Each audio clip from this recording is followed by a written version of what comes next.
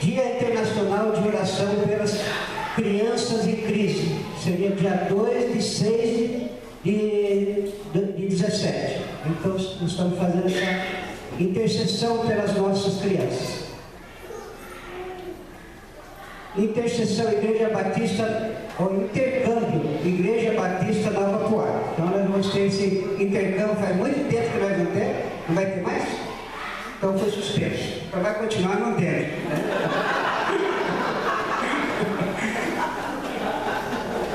Depois chegou o nosso dia também, né? Dia 4 de 6 de 17, dia do Homem Batista, direção da MCA. E temos a EBD também, a Escola Bíblica Dominical, né? a partir das 9 horas e a partir das 18 horas também. Né? E também teremos a ceia do Senhor, que é o primeiro domingo da semana, do mês. Avisos mensais. Já estamos arrecadando a verba para a confraternização né, do valor de 10 reais por mês. Os olhos estejam atentos aí, porque estamos arrecadando já para que no ano que vem nós possamos prestar uma homenagem à mulher. Escreveram o fim ali, mas ainda não é o fim.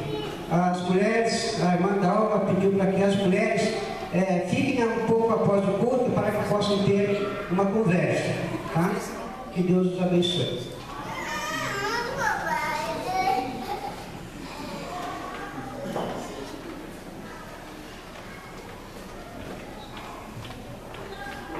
irmãos? Eu vou fazer um momento de intercessão, né? Vou estar lendo Mateus capítulo 21, versículo 22. E tudo quanto pedis em oração, crendo, recebereis. Gostaria de saber se alguns irmãos têm pedido de agradecimento. Levanta as mãos. Aqueles que têm pedido de alguma enfermidade, ou para a família, ou para a igreja, levanta as mãos. Que Deus abençoe os irmãos. É, eu gostaria de pedir para o pastor estar lendo. Está lendo? Não está fazendo a oração para nós? Pode ser? Aproveitando esse momento, vamos orar pela Renilde também, que está ainda no hospital, e para todos os enfermos da igreja, né? Vamos orar. Pai querido, Deus eterno, maravilhoso, Queremos neste momento interceder pelos enfermos. Lembramos agora, Pai, da nossa irmã Renilde, que está hospitalizada, cuide dela que muito breve ela possa receber alta hospitalar. Pai querido, venha abençoar os demais que também estão precisando da intervenção do Senhor. Que o Senhor venha em encontro de cada necessidade. E abençoe também o Pai, a família Batista Vila Natal. Irmãos que levantaram a mão, agradecendo, cada um tem um motivo de gratidão. E nós louvamos o teu nome por cada vida que se encontra aqui nesta noite. Somos gratos também pela vida dos quatro que descerão as águas daqui a pouco. A Bíblia diz que quando o pecador se arrepende, os céus ficam em festa. E a igreja se alegra aqui embaixo por mais vidas. Mostrar a todos de forma pública que são seguidores de Cristo. Então, Pai, muito obrigado pela vida desta igreja. Muito obrigado por todos que têm dedicado seus dons e talentos a serviço do teu reino. Em nome de Jesus, eu oro agradecido. Amém.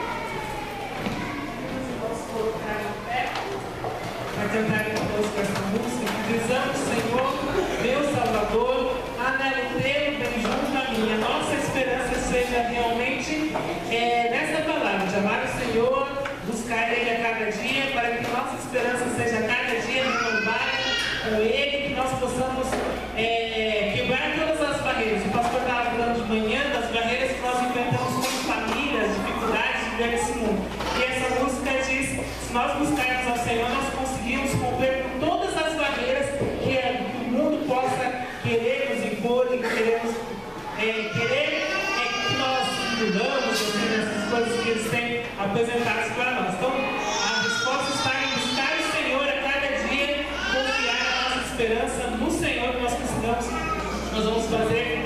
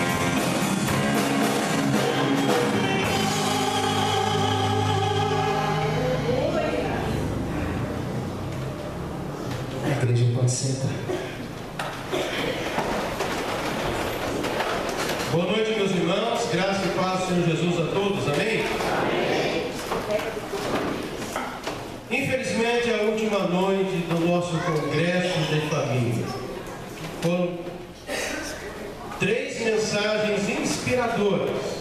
Sexta-feira, sábado e domingo pela manhã. E com certeza, Deus continuará falando ainda nesta noite.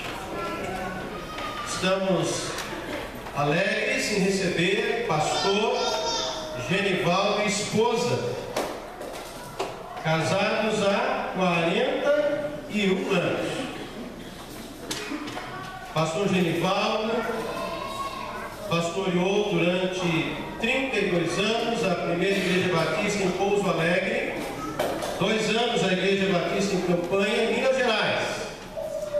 Há 38 anos no Ministério Pastoral, quase 39.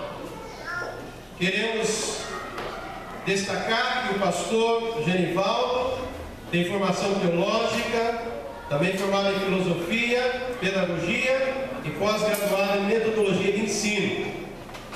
E é escritor, tem escrito alguns livros.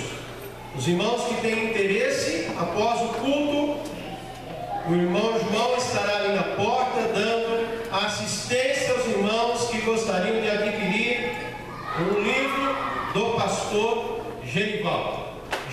Genivaldo. Nós temos o Genivaldo, foi presidente da nossa convenção, e, mas o pastor é Genivaldo. Louvamos a Deus pela vida do seu servo, servo do Senhor, que se encontra conosco nesta noite. Eu quero, antes mesmo do pastor começar a falar, convidar todos os membros da equipe do Ministério da Família aqui à frente. Por favor, irmão Esposa, irmão Marcelo, esposa, irmão William, não sei se encontra e a irmão Valdir, irmão João, irmã Lígia, olha aqui em cima, irmã Lígia, irmão, irmã Ione. Faltou algum? Não, né? Esses irmãos têm trabalhado incansavelmente durante todo é, o primeiro semestre, elaborando temas, pensando no Congresso, pensando em todas as atividades para o Ministério de Casais. E esse Congresso, que começou sexta-feira, nós louvamos a Deus pela sua graça, pela é, permissão de Deus, mas queremos destacar a equipe que tem trabalhado incansavelmente, a qual peço uma salva de palmas.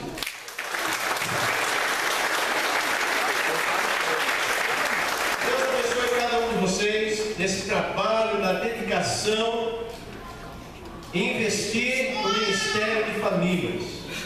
Meus irmãos, nós vivemos momentos tensos e em a nossa igreja, estou muito feliz aqui, que a nossa igreja pensa na família. Amém? Amém. E eu louvo a Deus por essa equipe que tem trabalhado de forma incansável. Temos a irmã Renilde que está hospitalizada e o irmão William e não está hospitalizado, ok? Irmão William não, ele também faz parte dessa equipe. Louvamos a Deus pela vida de cada um de vocês, esse ano, da direção do irmão Eric, como líder de casais. E este ano teremos mais programações, não é isso, não é?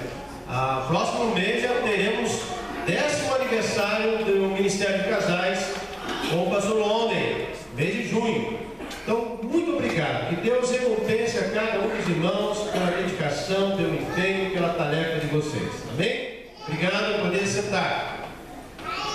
Nós vamos ouvir então a mensagem. Mensagem que Deus já falou ao coração do pastor Geneval. Porque eu costumo dizer à igreja, pastor, que Deus primeiro fala conosco, nós levamos a chicotada primeiro.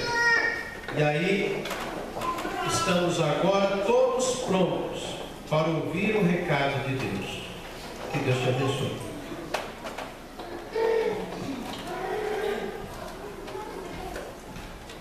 Amados irmãos, geralmente após o término da mensagem, nós quase não temos essa oportunidade, porque tudo é feito já rapidamente, então eu quero já neste momento, agradecer, né? agradecer à igreja pela oportunidade de estar aqui com os irmãos. Os irmãos não podem imaginar né, a alegria que eu tenho de ter passado esses três dias aqui com os irmãos. E, pastor, muito obrigado pelo carinho do irmão, né? Ah, a hospitalidade do irmão, a sua atenção da sua esposa, da sua família. É, realmente isso faz muito bem ao coração do pastor. Obrigado pelas famílias que nos receberam para dar o lanche, o almoço. Meus amados, eu sou um pastor que gosto de gente, eu gosto do cheiro de gente, né?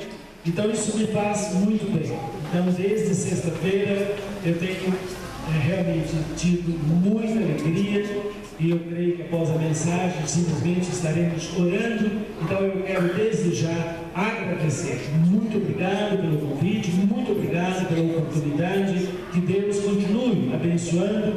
Tenho a certeza né, que eu estarei orando continuamente pelo ministério é, do pastor, da igreja, de todas as famílias, ministério dos casais ministério é, voltado para a família aqui desta igreja.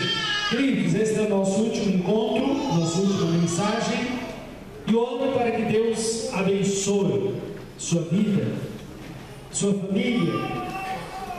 E esta noite nós vamos sair né, de Mateus, capítulo 5, 6, 7, vamos sair do Sermão do Monte eu queria que você abrisse a sua Bíblia no Salmo de número 78. Por favor, vamos nos colocar de pé. Nosso querido amado vai colocar ali a nossa primeira. Esperamos que o nosso ministro, ok? Tudo funcionando, graças a Deus.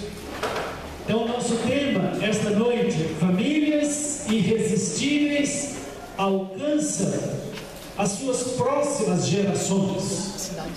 Amados, eu tenho estado realmente incomodado com isso. Muitas vezes achamos que é, é, são problemas que se relacionam com o mundo, se relacionam com outras pessoas. Não.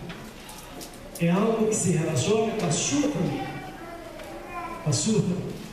Esse é um salmo que nos chama a meditar sobre essa questão de ganhar as próximas gerações da nossa família. Veja bem, nós temos a grande comissão de Mateus 28, Marcos 16, mas precisamos lembrar que há uma grande comissão que é para a minha família, uma grande comissão que é para a sua família. E se você negligenciar esta grande comissão primeira, que é a sua família, querido, isto será uma tragédia. E depois do texto eu vou trazer algumas ilustrações de como isso realmente está acontecendo.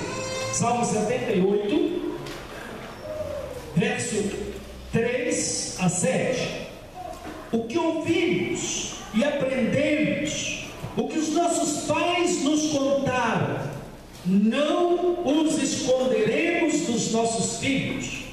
Contaremos à próxima geração os louváveis feitos do Senhor, o seu poder e as maravilhas que fez.